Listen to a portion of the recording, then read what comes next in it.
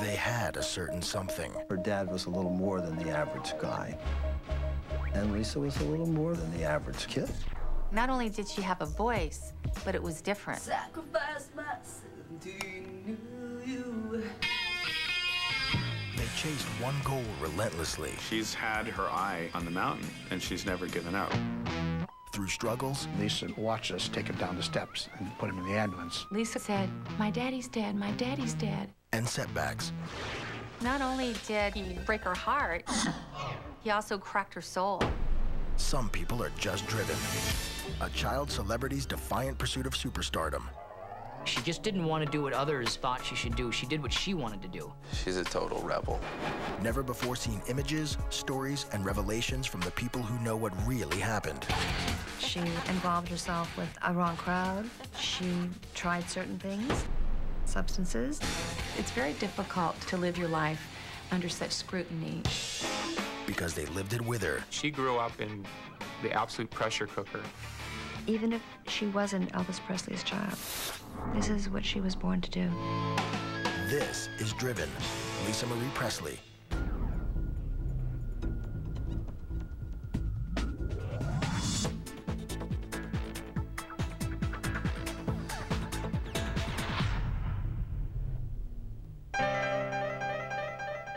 Lisa was born February 1st, 1968, in Memphis, Tennessee, at the Baptist Hospital there. It was an anticipated birth, and it was a it was a big deal. Her dad was a little more than the average guy. Elvis was just so excited and overwhelmed. He was like a typical father, uh, handing out cigars to people. Seeing Elvis as a father the first time, what really impressed me was he seemed natural holding the baby. I couldn't believe that we had a child. She was so tiny to us, you know, an angel.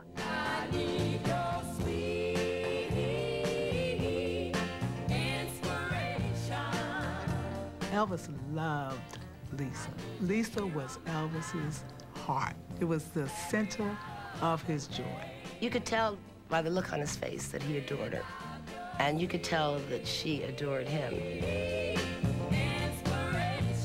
Elvis would spoil her, you know, in a good way. Dads showed their affection through presents. He bought her little mink coats, he buy her diamond rings and little jewelry and stuff like that, anything she wanted. They had this really magical relationship, and they spent a lot of time together. They were very close. Lisa has a lot of her father in her. She just had this innate thing about music. When she was three years old, I bought her a record player. A big red record player that she constantly would play. One of the songs that she loved was Sweet Caroline. Another was um, Polk Salad Annie. Both these songs Elvis did on stage. And she would just listen, sometimes to the same record over and over and over again. And she'd have stacks of 45s, and she was like a little DJ.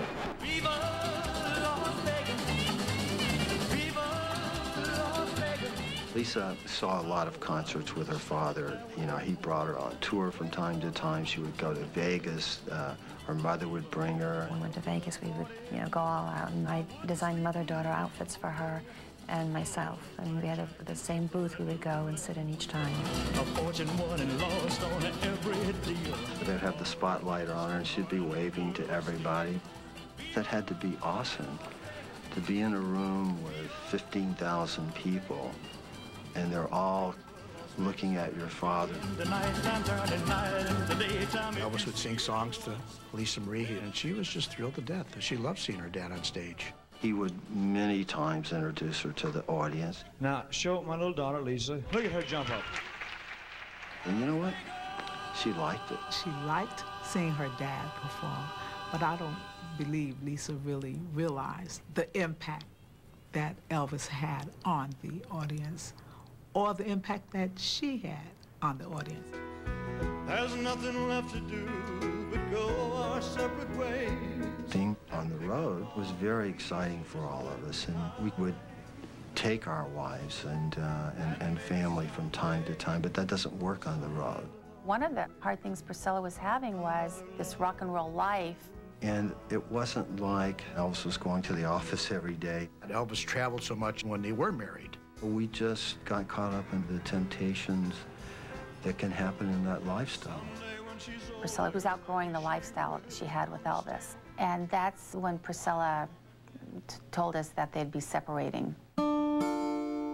There was truly still a love between Elvis and Priscilla. That was always shown around Lisa. She never really felt a, a major impact of a, of a divorce. We both still cared for each other.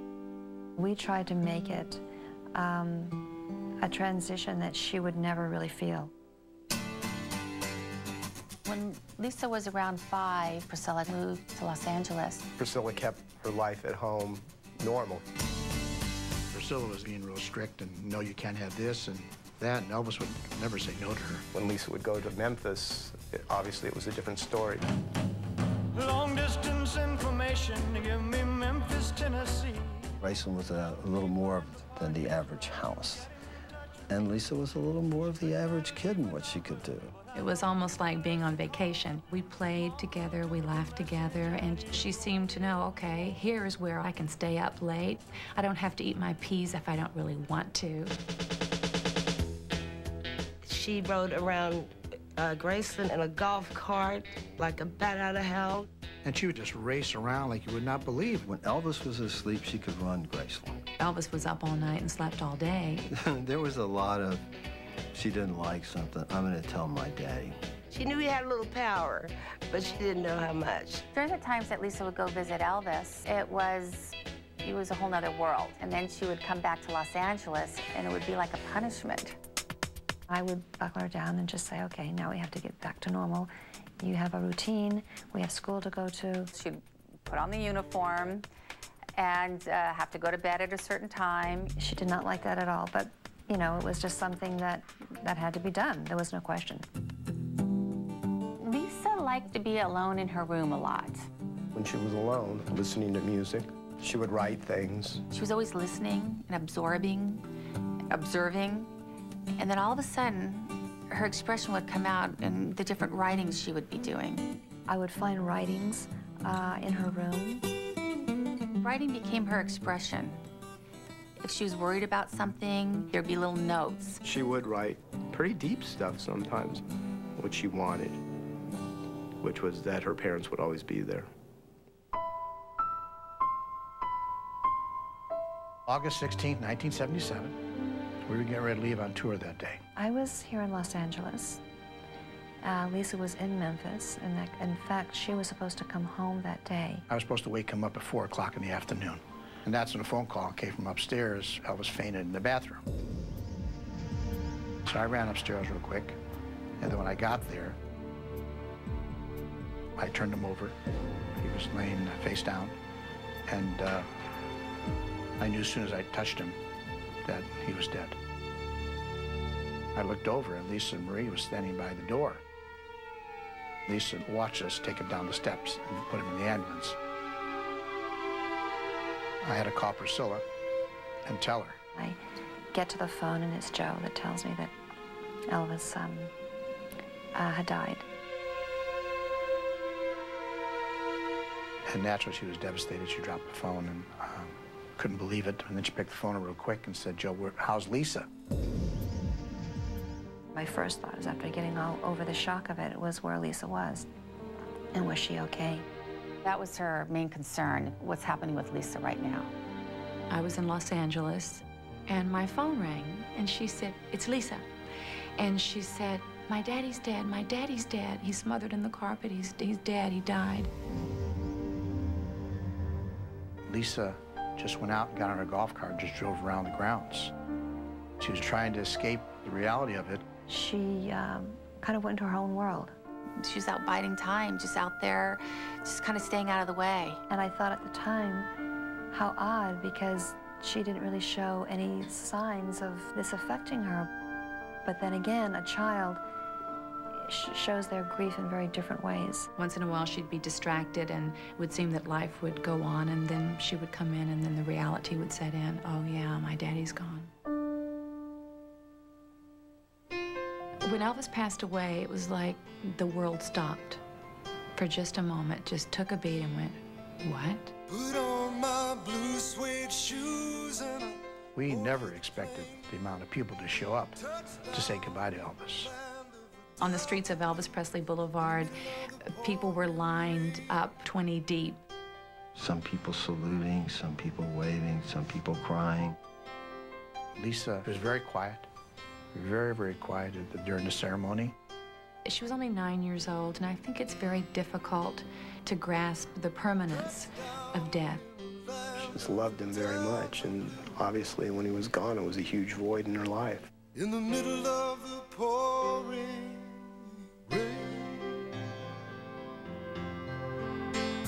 Next, Lisa Marie turns into a tabloid princess.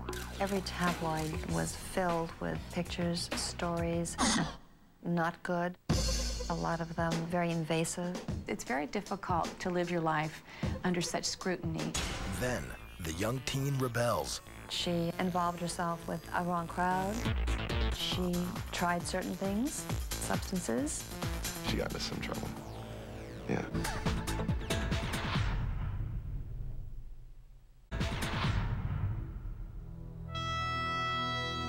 After Elvis died, there was a lot of media attention on everything that we did, where we were.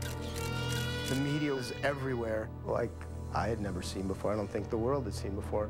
The press is coming in and just they're showing up in your trash cans and they're showing up in the backyard and they're climbing over the fences. There was a value to, to a picture of Priscilla. There was a value of a picture of Lisa. There was more or less a bounty on both their heads to get new pictures. Every tabloid was filled with um, pictures, stories, a lot of them um, very invasive. All the controversy over Elvis's death. That it had to be drug-induced, overdose of sleeping pills, smothering, whatever. It was in every newspaper. You couldn't go to the grocery store without seeing it. She adored her father, and because of all the attention we were getting and all the stories that were out there, this would devastate a child. Priscilla was talking with myself and my mother about what do we do, you know, now with, with Lisa. I just felt that I had to get her away from the media. And Priscilla thought, let's just get out of town. Let's just get out of the country. My sister Michelle and I took Lisa and we went all over Europe just to get away from the media, get away from the attention, get away from everything. We actually got away with it for about the first week. Then the paparazzi caught on. There's, you know, Priscilla and Lisa there in Europe. We realized that got to think of a new plan here. So we went back, came back to the States, and then Lisa started school.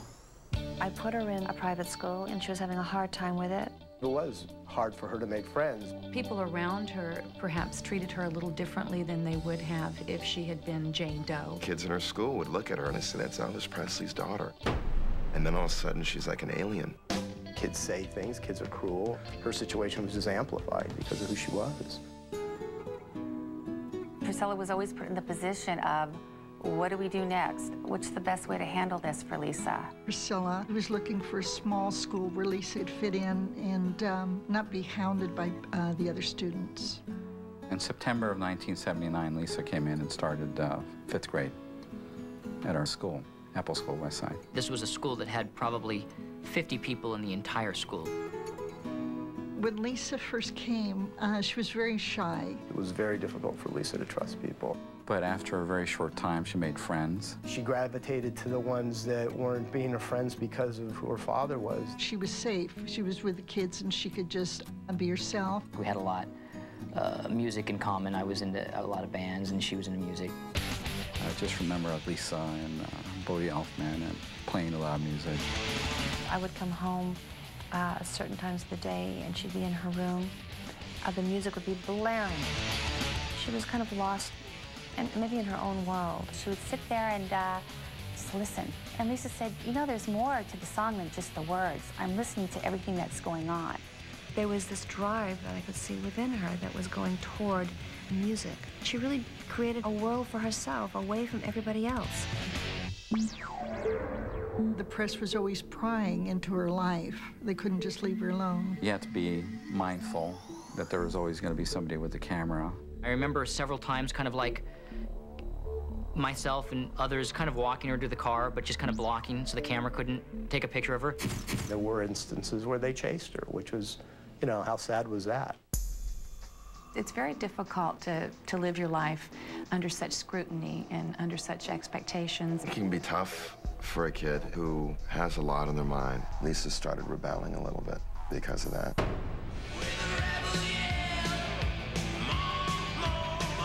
She's trying to find out who she is. She knows she's Elvis's daughter.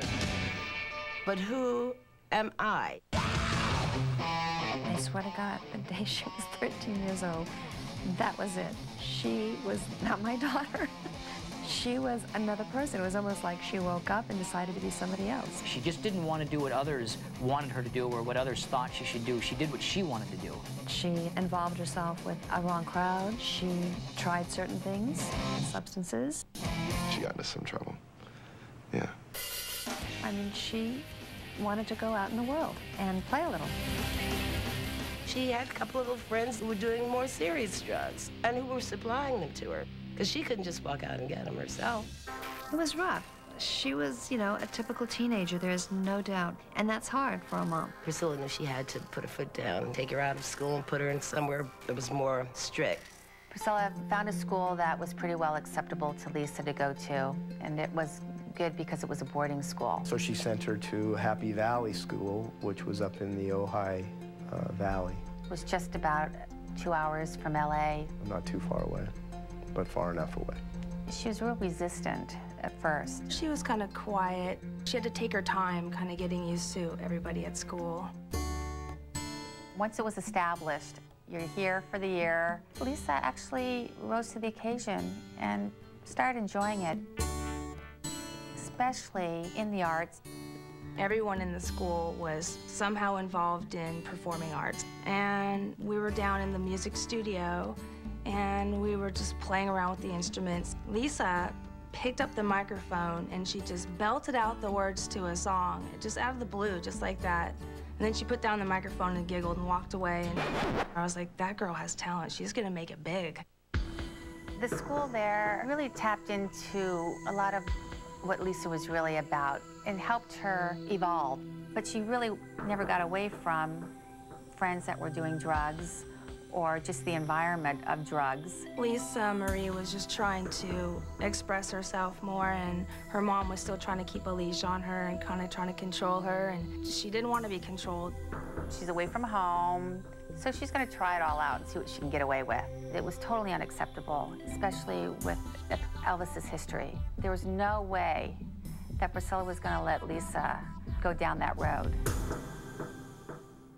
Next, Lisa Marie faces her legacy. My big fear was that she would sing and wouldn't have a voice. This town could be very cruel. There are no second chances. And later, Michael Jackson sets his sights on the king's daughter. There was something that she had that he wanted.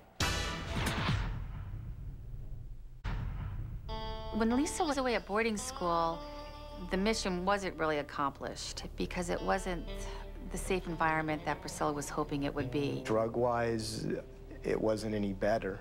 The same thing was going on up there. She left school in mid-11th grade. It was time to come back to LA, but then where does she go now? Because we're running out of options here. Priscilla had become familiar with the Scientology Celebrity Center and knew their policies on drugs. So Lisa moves into the Celebrity Center. And then she met Danny Keough. And that's when I really saw a change in her. Danny was a musician. It's just sort of in his blood. He had a band. She attended all of his gigs. The attention really wasn't on her. She was crazy about this bass player. He wasn't pursuing Lisa. I think Lisa was really pursuing Danny. It was probably the first person she met in the music industry that didn't care or wasn't after something else. She really respected him and was inspired by him as a musician, and th they just seemed perfect together. They were really into playing music and hanging out with his friends. Musicians and artists and actors that are going about their lives having good experiences just without the drugs. It was the perfect group of friends for her to kind of like feel safe and comfortable. She wanted that interesting line where you can be a rebel and have fun and do your own thing and not and and not conform, but not staying up all night, you know, doing coke. It was the first time that Lisa could think, okay, I got that out of the way. I got that experience out of the way. I don't need to do that anymore. She was interested in, in Danny and she was interested in music. They started writing together, and it was just the camaraderie that they had, the bond that they had with their music. She became very expressive with her words and her feelings. She started to blossom at that time. It gave her a sense of herself again. She could really now identify who she was. And she discovered that she was an artist. Oh, there's nothing wrong with me. I'm just an artist. Lisa was falling in love. Lisa was falling in love because she found her way into a world that maybe she never left, but that she really wanted to dive into. One day in October 1988, Danny comes over and he just collapses on the couch and he said, Lisa and I just got married. They got married. Surprised everyone. I was shocked and happy, really happy. We end up having this wonderful wedding reception about six months after they were married, and they redid their vows. And it was really charming. It was really sweet because it was like an old-fashioned wedding. And then she became pregnant. Later that summer, she had Danielle. She was ecstatic, and she was amazing. She was devoted, and she was loving, as was Danny.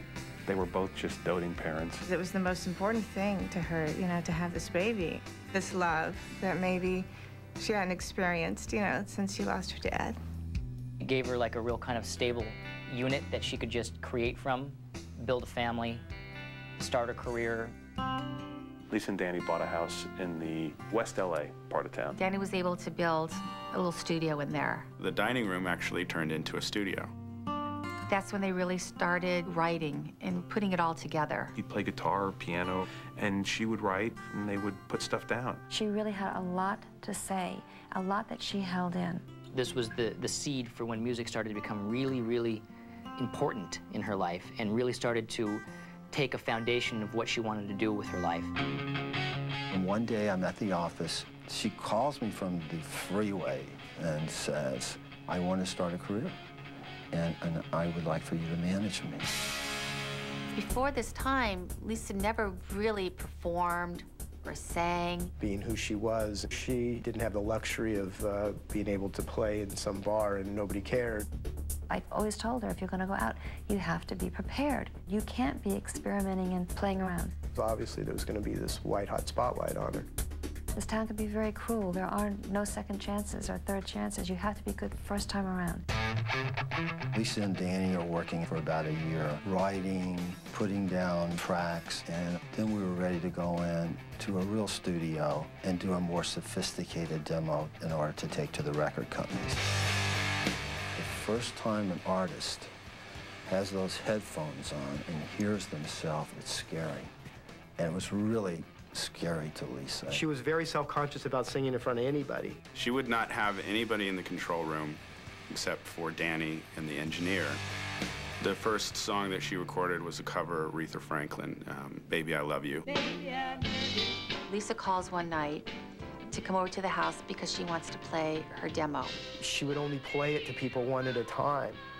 One person would go in and listen and come out. She's kind of, you know, doing her disclaimer, you know, it's just a demo. My big fear was that she would sing and wouldn't have a voice.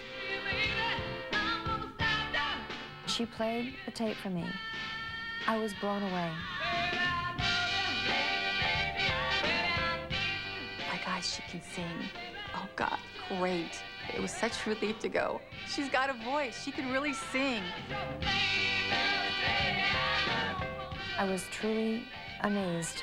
Not only did she have a voice, but it was different. It was very unique. It wasn't sounding like her father. So that's when I really realized that, that this child, this girl, really had a lot going on. She really had something to offer. It was almost like, okay, anything can happen now. They had meetings with major record labels. This girl was talented, and I was going to the top people.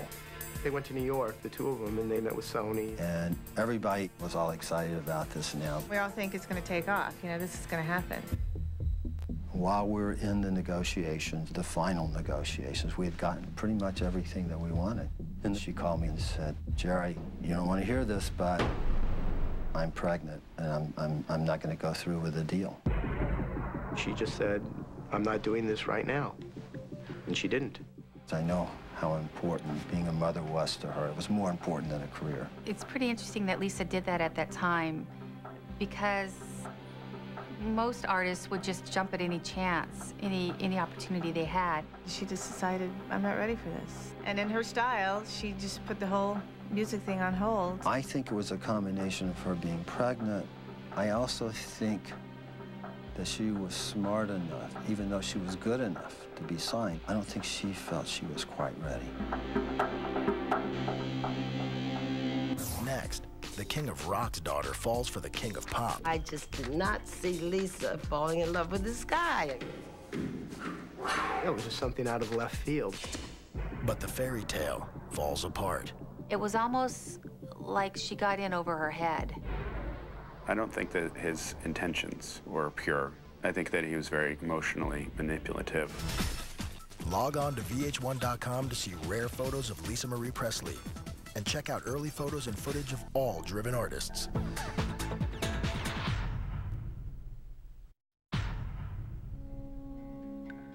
Lisa's second child, Benjamin Storm Keough, was born in uh, October of 1992.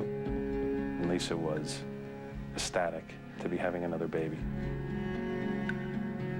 Consequently, she takes a break from working on music for Ben to get settled. When Benjamin was about a year, that's when things started to pick up again. That was the year she turned 25, and she inherited Graceland.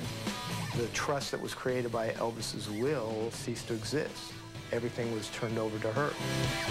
A lot of things happened to her that year. Her demo tape was still around. All of a sudden, people were calling her, like Prince was interested in her music. It was just sort of a buzz. Lisa's lifestyle and who Lisa was started causing complications. Danny started getting a little uncomfortable of this life. The little house that they bought together was no longer suitable. Onlookers could look over the fence, so they moved into this gated community that was very generic. He had no choice in the matter to pick and choose where he could live or where he could go. It was obviously a very strange time, a very troubled time for them. Although there was such love there, I think that their common purpose changed. Lisa came to our house one day and she was saying that her and Danny were separating. Uh, essentially ended up being mutual and they decided to go their own ways. She made a decision and he made a decision that it was better to just, you know, be friends. That's when the whole Michael Jackson era started. Michael arranged to meet with her, and he was interested in her music. And so they started, you know, a friendship based on that. And then it totally changed into something else. There was this flurry with Lisa and Michael, and they were spending more and more time together. Michael courted her, and he was, he was very charming and very convincing. He flirted with her and she flirted with him. They got to know each other. And there is a wonderful side to Michael, which is warm and engaging and loving and attentive. And she fell in love with him. Lisa appreciated the fact that he cared about world hunger and healing the planet and taking care of children. And deep down inside, I think she was looking to do something like that for herself. The next thing we know, she's marrying Michael Jackson. It was just something out of left field because all of a sudden, boom, she was married. I thought it was sort of an Enquirer thing, you know, sort of like fabrication or something like that. I respect Michael with all of his talent, but I just did not see Lisa falling in love with this guy. I felt that maybe on some subconscious level, Lisa was attempting to get to know her father a little better and what her father's life was like. Being married to Michael Jackson was a full-time job for her. It was all-consuming. All of a sudden, Lisa's surrounded by Michael's people. It was Michael's world. She spent a lot of time really being a great wife to him, but she didn't work on her career so much around that period. I don't necessarily believe that Michael wanted to help her achieve her goals. She didn't do her music at all. She put a lot of energy into him. He's an amazing artist, yet there's, you know, an emptiness that he has. And I think she got pulled into that and felt like that she could help him, that she could understand him. She had a real instinct to, to take care of him. Michael maybe had his hand in there for a different reason. In my estimation, there was something that she had that he wanted. He wanted what Elvis is. I always just got the impression his career came first above everything. And let's face it, it was good for his career, especially at the time. Michael had a lot more to gain by the union than she did. Please welcome Mr. and Mrs. Michael Jackson. The MTV Music Awards in 1994, Michael and Lisa walked out. All of a sudden, on stage, Michael looks very uncomfortable. And just think, nobody thought this would last. Michael and Lisa did the kiss.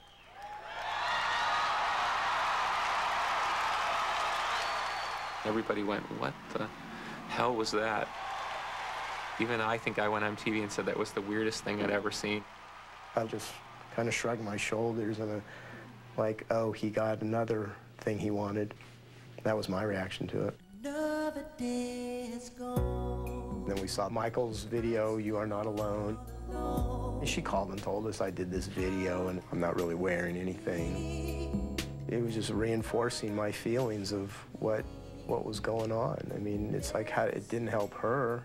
It, it definitely helped him. And as time went on, that's what kind of bothered me about it. She was being used. I don't think that his intentions were pure. I think that he was very emotionally manipulative. The whole pretext of her relationship with him was just unwinding. It was almost like she got in over her head. She tried speaking to him. She tried reaching him. Lisa was having less and less communication with Michael. She was very hurt by um, his lack of commitment, his lack of involvement in the relationship. Michael's mission was accomplished. He got married, proved that he could be a loving husband. They kissed on MTV. So he was ready to go on to whatever he needed to do. And Lisa wasn't going to fit into that. The end of it was very rough, and she went through some really rough times, and I think saw some truth that she hadn't seen before.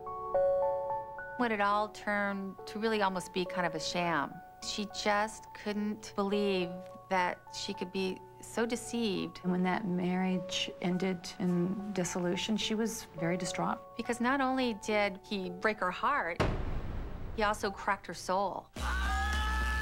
After the divorce between Lisa and Michael, Lisa really went through so much emotionally and even physically. She was even in the hospital for a little while. Lisa got really sick after that. That can be a serious wake-up call to who somebody is inside when you're really like looking in the mirror going, okay, let's get down to bare bones with who I am. She had to start all over again. She threw herself into her work. She started writing again. She started to hook up with those people that she originally hooked up with to create music. Lisa called Danny and said, I got some things I want to say, and I think I'd like to put it down. They had always stayed very close. They set up in a garage, and they just started writing songs.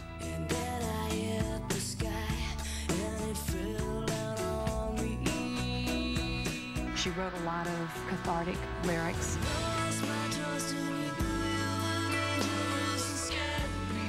She wrote everything, just all of her feelings, she kind of purged. You could see her life coming back. August of 1997 was the 20th anniversary of Elvis's death, which we knew was going to be a big event. Lisa was thinking, what can I do for the 20th anniversary of my father's death? Kind of a gift to him, but more like a tribute actually to the fans. She called me and she said, I want to do a duet with my father. Lisa approached my husband, David Foster. He had done the um, music for Natalie Cole when she did her duet with her father, Unforgettable. They chose the song Don't Cry Daddy. So David did a great vocal on her and juxtaposed it with her father's voice, and it was very moving. You know, there was that emotional kind of reaction to hearing him sing and hearing Lisa sing. She got with the producer of the concert, to do sort of a little music video to go along with the song, edited with her and her father. It wasn't like a video that was released on television. It was really just for a lot of her dad's fans. Priscilla introduced the video at the concert, and they played it. Don't cry, Daddy. And the place just went nuts. I mean, like, I, it was deafening, like thunderous. That night when they played it, the arena went crazy. It was a showstopper. Everybody was in tears. When the song was over and she came out on stage just to wave, I thought security was going to have problems. I thought there was going to be a riot. People like freaking out and screaming and yelling her name. I think she was truly touched with the effect that she created on these people. It was an honor for me to be able to do this tonight. To, for him, thank you very much, really. That's when I just knew. I was like, I don't know how long it's going to take, but the world's still going to find out. Lisa's really the real deal. Please don't cry. Next, the spotlight is on Lisa Marie. He wanted to be taken seriously and not be another pop princess. But she has a tough act to follow. When you have a father who's an absolute icon, you know you're going to get slaughtered by the press no matter what you do. They might as well just tack her up on a cross.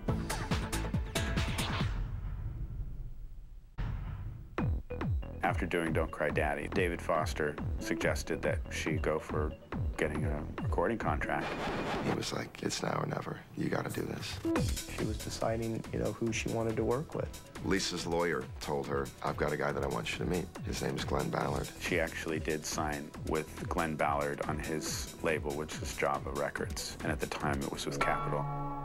When Lisa first went in to start recording for her album, I'm sure she was nervous. Her emotions were running the gamut. I knew the shoes that she had to follow. For any child to follow Elvis's shoes is, is not a, it's, it could be a curse. All the critics are waiting to accuse her of riding her father's coattails. When you have a father who's an absolute icon, you know you're going to get compared, you know you're going to get slaughtered by the press no matter what you do. On some level, she can't succeed. They might as well just tack her up on a cross. She didn't want to draw on her father's fame. Lisa wanted this record to be hers, her own sound. She was really searching to find her voice, lyrically, musically, emotionally. I heard a great voice in there, but I didn't really hear a musical direction. She floundered a little in the beginning, and that necessitated going through a few producers. She took advantage of those times to really figure out what style she wanted to really gravitate towards. Her songs went through a great progression. There was talk of would the record ever come out? By the end of 2000, Lisa had easily an album's worth of songs, but I think that she was just not quite satisfied yet. Lisa came to my office and she said, I really want to rock, and I want this record, you know, to have an edge to it, and I don't think I'm necessarily getting that edge. She wanted to be taken seriously and not be another pop princess or something that everyone expected her to be. The first time I heard the record, I thought the songwriting was great, her performance was great, but somehow the singer wasn't the most prominent thing. The record sounded confusing. It seemed like a lot of ideas had come together, and it needed some kind of editing. And that's when the record got cut over. It got cut over again for the third time. Eric Rosse was able to really tap into the to her vision of what she really, really wanted. As we started working together and she, she liked some of the music that was unfolding, keeping some dirt under the fingernails, keeping it raw, I just kind of saw her shoulders relax a little. The smiles were a little bit wider. Lisa said, this is it. This is it. I want the whole album to be just like this. I'd listen to these tracks and go, oh my God, this is incredible. I knew that she'd found her style. Lisa finally, in 2002, was going, we got an album. We got an album. The album, To Whom It May Concern, is about her life and her experiences. It is sort of a walk through her mind. These songs were written over the course of a lifetime, and they just came out after she found wings and, and a way to do it. She has a lot of pain and, uh, and, and other things inside of her, and it comes out in the music.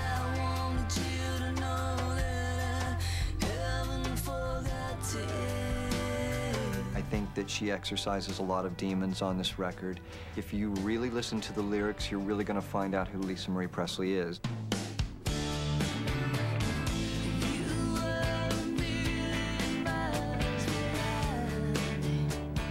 Lights Out was the first single from the record. It dealt with the issues of her life and how Memphis and Graceland played a role in her life. It was honest, good songwriting. But no one knew if the person who had sang Lights Out in the studio, in the vocal booth, could actually put it together and perform. That. She's never really stepped up in the public eye as a recording artist rather than Lisa Marie Presley, the celebrity. Lisa was starting to get a little nervous because the reality of everything that she might have to confront was starting to get close. The first time she performed in front of an audience was in Florida for the NARM-convention. There was anywhere from 1,000 to 2,000 people for this. It's record executives, people that work in the industry. I'm looking at Lisa and I can see that, you know, she's never done this before. This is all brand new to her. As soon as the curtain opened, Lisa like stepped up to the front and nailed it.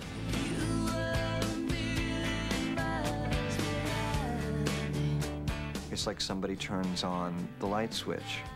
She is a natural performer.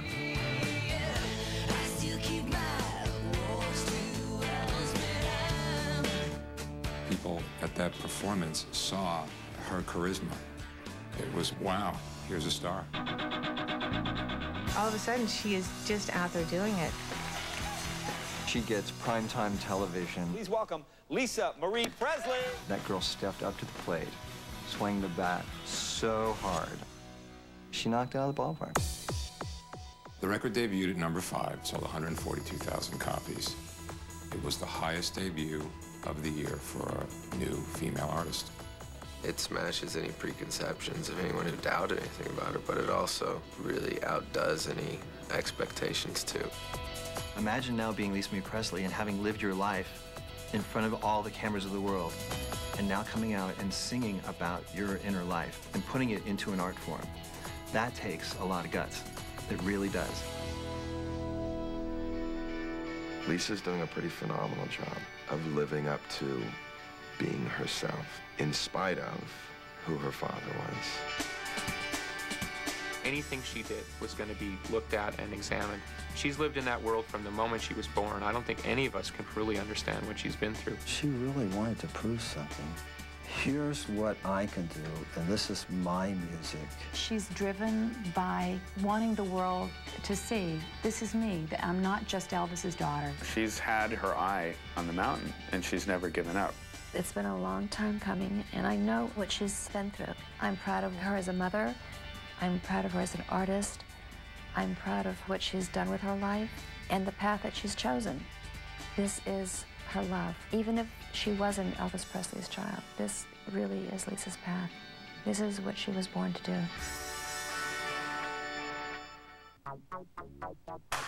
Yeah, we're looking at you go, baby.